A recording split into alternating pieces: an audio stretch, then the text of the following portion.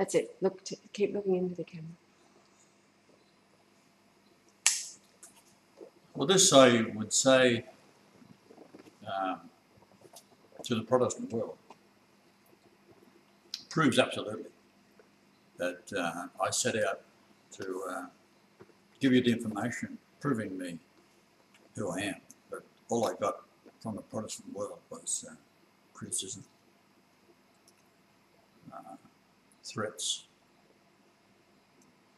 uh, hate. And so, um,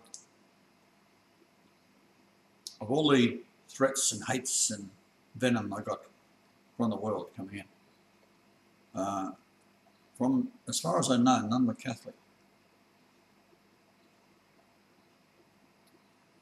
So, as I was born on Rothschild Avenue, that's an indication that the devil, of course, is Rothschild. And uh,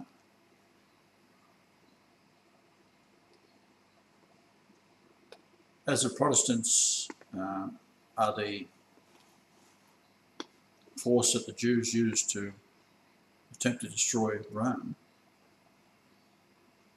there's only one organisation in the world that does dedicate itself to the marriage supper of the Lamb, and that is the entire Catholic Church, and they venerate my mother. Uh, without doubt, uh, the finest woman that's ever lived, chosen by God to bring forth the small child that is going to be God in the flesh. And is why that uh, when she appeared to me as a child, uh, spoke to me as a six-year-old that I was Jesus. He told me things that I could not um, verify, although I knew to be truth, because I recognised her as my mother. There was no doubt.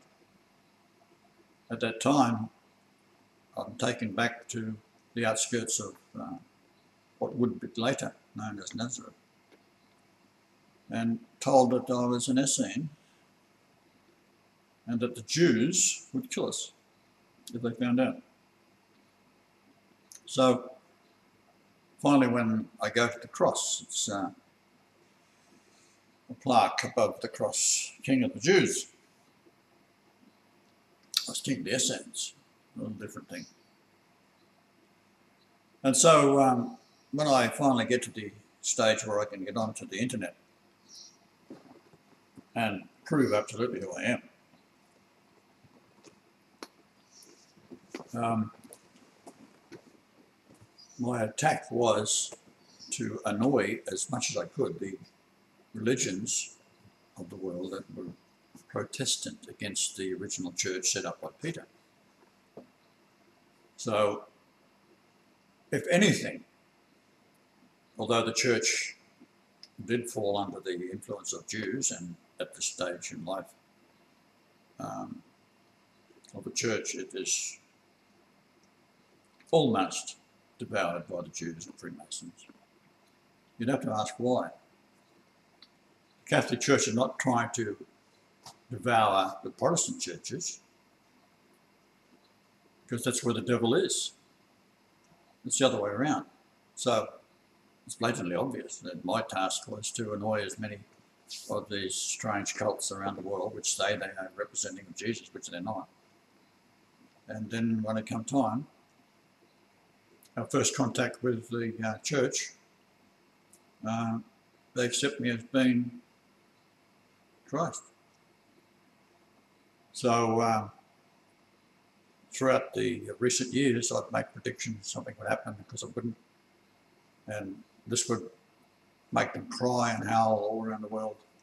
There's this clown in Australia is uh, saying certain things that he's Jesus, he's God, he's this and that and uh, whatever he says doesn't happen.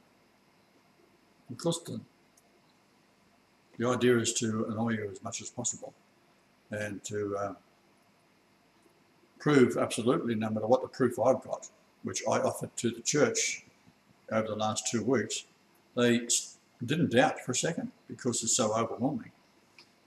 that a man could come along and do the things I do, show the miracles I do, cure AIDS and all these uh, dreadful afflictions that are invented by the builders of the world. So the Catholics aren't the builders of the world, they are the spiritual, spiritual centre. Um, what the builders are, are the stone the builders rejected has become the head of the corner. So it's the builders, the Freemasons and the Jews that have built the earth, that have rejected me, because they know full well that um, their God is Lucifer and the devil. So we speak to one poor old gentleman that has been trying to rid the church of its filth, which is of course the Freemasons and the Jews, and uh, was unsuccessful. And in his darkest hour, he finally retires. And at the moment of his uh, retiring, um, the numbers were perfect in that it was 84 years to the day when the Vatican gave the church its uh, its own principality inside Rome. And uh, that afternoon at 5.55, Christ, 5.55 times in the King James Bible. And remember, King James was a Catholic. His mother had been beheaded by the Freemasons. And uh, he was raised by Freemasons, educated by Freemasons, knew all the secrets of the Freemasonry. So he did very little in his reign as king of England, um, made possible by William Shakespeare, who was Edward de Vere, the right-hand man of Elizabeth, who had ordered the death of his mother. So um, when the manuscript is handed to the king by a homosexual, after 47 Freemason scholars had uh, translated it, handwritten manuscript. Manuscript means handwritten. Manuscript. Uh, for authorization, uh, they went to work on it, reading it, and inserting Shakespearean overtones that you see when you read it in the original King James. So then we have it authorized. Shortly after that, without telling anybody, they changed it. So they realized that they had been tricked. What was around 1785 or something? 1871. 1871. Mhm. They realized that the original King James was a trap. And it was pointing directly towards them as being Lucifer and that the Catholic Church is the only alternative. So when I glanced over it, and I can say I haven't read it. I've read none of Deuteronomy, none of Numbers, um, with the exception of two or three verses, which was enough to make me sick. Um, some of Genesis, again scattered verses, maybe 5%. Uh, none of Paul, except for the road to Damascus, that nonsense when, the, when Lucifer appeared to him. Mm, maybe three or four verses of Hebrews, none of, uh, of uh, the main writings in the body of work, which makes up a third of the New Testament, of attributed to the 14 books of Paul. So I may have read 1% of it. What do I want read for? It's got nothing to do with me. The same with Deuteronomy, Numbers, Exodus, nothing to do with me. Why? Well, it's in uh, inbuilt.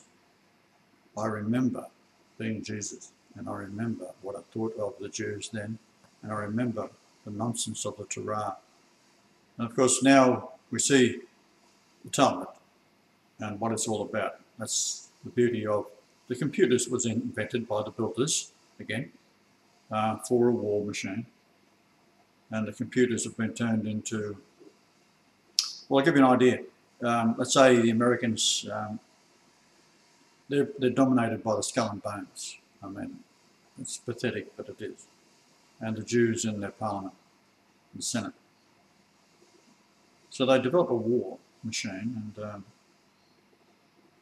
they have to get rid of the weapons because uh, they have new ones coming on. So what better way than start a war with Iraq and then get the world to buy all the weapons off them.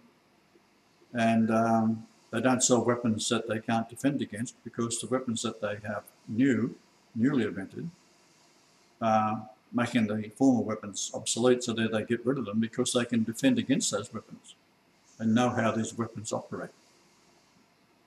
And we see, for example, how they invaded uh, Saudi Arabia with the dollars and then got the same Saudi Arabians to pay the Americans to go in and occupy them with a building a base there.